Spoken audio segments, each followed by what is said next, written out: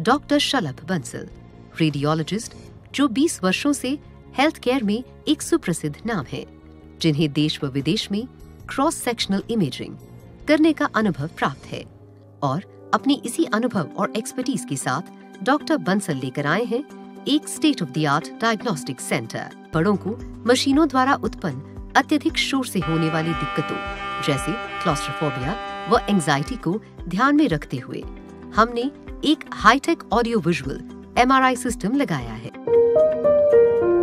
Tesla imaging and diagnostic centre Maharashtra के नासिक में भीषण सड़क हादसा हो गया है। प्राइवेट बस और एक ट्रक में ज़बरदस्त टक्कर हुई है। जिसके बाद बस में आग लग गई।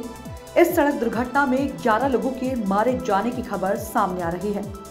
इस दुर्घटना में 38 लोग घायल हुए हैं, जिसमें एक बच्चा भी शामिल है। घटना पर राष्ट्रपति द्रौपदी मुर्मू ने दुख जताया है। उन्होंने मृतकों के परिवारों के प्रति शोक, संवेदना जताई है और घायलों के जल्द स्वस्थ होने की कामना की। दूसरी ओर मुख्यमंत्री एकनाथ शिंदे ने हादसे पर दुख जताया है और मृतकों के परिजनों को पाँच लाख रुपए मुआवजा देने की घोषणा की है। इस हादसे पर पीएम, सीएम ने भी दुख जताया है। उन्होंने इसी के साथ प्रत्येक मृतक के परिजनों को पीएमएनआरएफ से दो लाख रुपए की अनुग्रह राशि देने की घोषणा की है। वहीं घायलों को पचास पचास हज़ार रुपए दिए जाएँगे।